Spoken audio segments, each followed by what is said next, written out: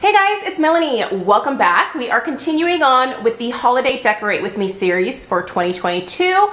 And we are in the family room today and we're gonna tackle the mantle that's in here.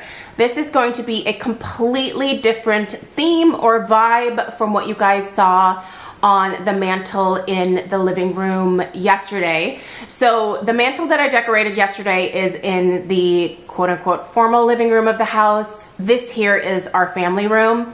And um, I really love doing different themes in different rooms.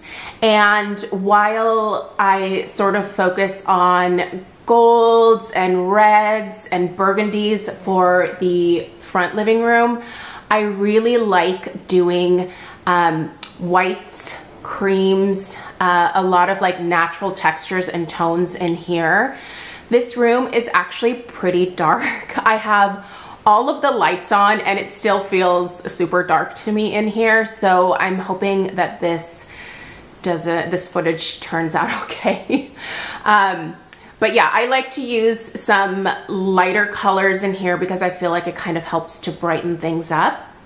So one thing that I forgot to mention in yesterday's video that I really want to stress before we get started here is that if you are decorating an elevated surface like a mantle, even if your mantle is very wide, I would highly, highly suggest that you use some command hooks to secure your garland to the surface that you are decorating it on. So for example, on the mantle in here, I have three command hooks that I actually just leave up year round and I wire the garland to the command hooks because the worst thing that you can have happen is like doing all of this beautiful decorating and then potentially having it come crashing down during the middle of the season or Christmas morning when you guys are opening presents or something. Always make sure that you are securing your garland.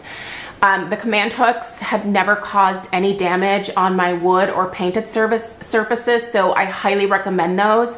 Another thing I want to mention is um, yesterday I just kind of showed it in the video. I used the sticky putty or museum putty to attach the clear trees that I placed on either side of the mantle. And I used that same putty on this little piece right here, which this little antler situation, I don't even know what I would call this thing, but um, it was sitting up there and it was fine, but I would really hate for that to fall down.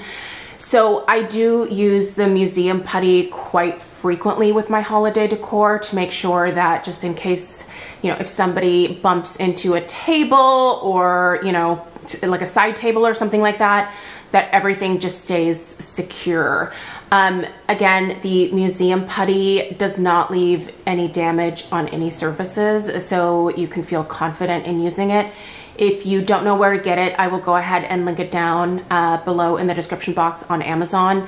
And um, it's really pretty genius and it's actually reusable as well. So um, enough for the intro here. I'm going to try to make this video a little bit shorter, so I'm gonna shorten the clips a little bit. Hopefully it doesn't turn into another 25 minute video, but um, we'll see. All right, you guys, let's get started with this kind of white winter wonderland vibe that I have for envisioned in here. Um, we'll see how it turns out. This is going to be different from what I did last year in a couple of ways. So let's just see how it goes.